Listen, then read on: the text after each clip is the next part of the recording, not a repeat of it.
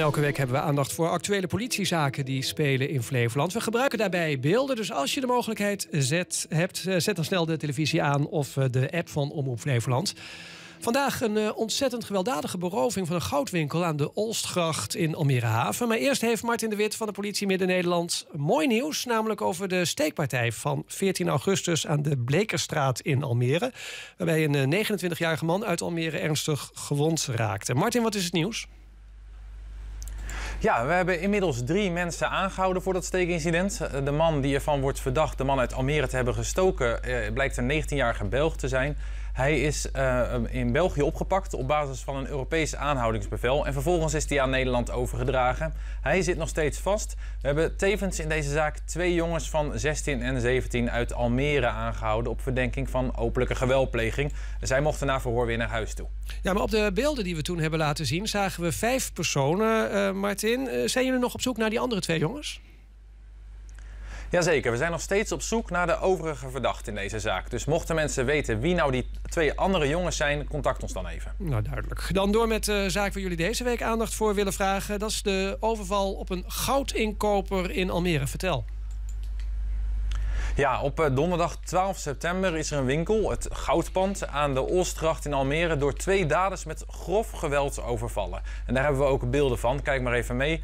Kijk, hier komen ze de winkel binnen en ze beginnen meteen als bezetenen de vitrines aan gort te rammen. Nou, dat vindt de ene eh, overvaller, die vindt dan blijkbaar dat de andere overvaller niet goed genoeg bezig is. Die trekt de hamer uit zijn handen. Hij begint er dan zelf hard mee te slaan. En deze overvaller is zo fanatiek met slaan dat hij zelfs bijna zijn eigen pistool kapot slaat. Het lukte twee mannen uiteindelijk om op deze gewelddadige manier de sieraden uit de vitrines te roven en te ontsnappen uit die winkel. Een enorme ravage is het gevolg. Ja, Martin, heb je voor ons het signalement van deze twee overvallers? Zeker. Nou, de eerste verdachte eh, was die dag eh, in het donker gekleed met een capuchon over zijn hoofd heen.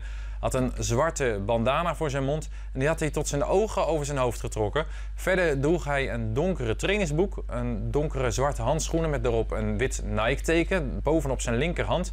Deze verdachte is ongeveer 1,70 meter lang, heeft een hele donkere huidskleur en hij was degene die dat pistool dus bij zich had.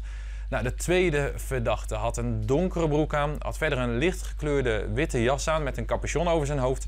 Verder droeg ook hij een zwarte bandana over zijn mond, ook opgetrokken tot aan zijn ogen. Ook hij droeg zwarte handschoenen met een wit Nike-teken bovenop zijn linkerhand.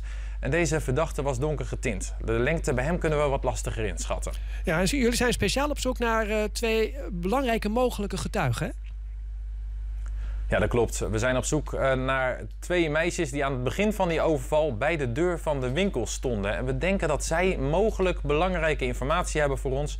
En hopen dat zij zich herkennen in dit verhaal en zich bij ons willen melden. Het gaat dus om twee jonge meisjes van ongeveer dezelfde lengte. Het ene meisje is blank, het andere meisje heeft een licht getinte huid. Ja, als mensen tips hebben, of misschien uh, de twee meisjes wel die uh, zich in dit verhaal herkennen, wat moeten ze doen? Ja, bel ons vooral. We willen deze zaak heel graag oplossen en hopen heel erg dat er mensen zijn die meer informatie hebben over deze beroving.